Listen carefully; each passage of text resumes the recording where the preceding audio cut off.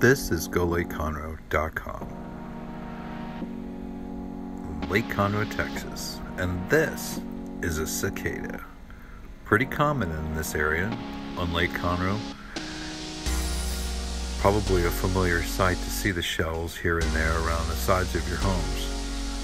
This, maybe a little more uncommon, is a cicada killer. Often mistaken for a murder hornet. The cicada killer does live in Texas.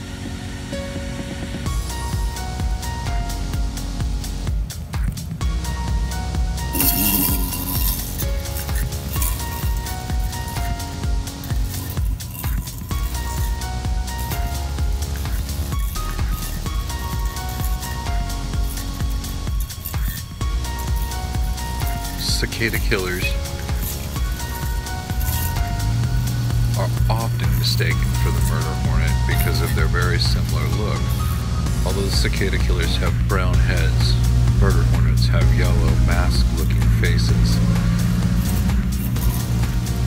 The cicada killer can sting multiple times and it is not killed in the process, unlike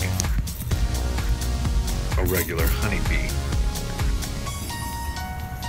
It's said not to be aggressive, but I can't tell. Or this one's just really, really upset.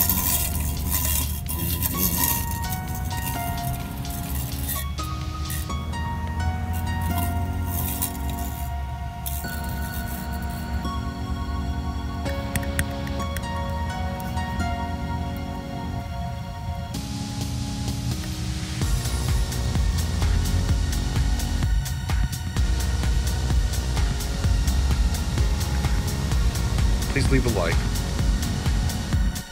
Follow and subscribe. To GoLakeConroe.com.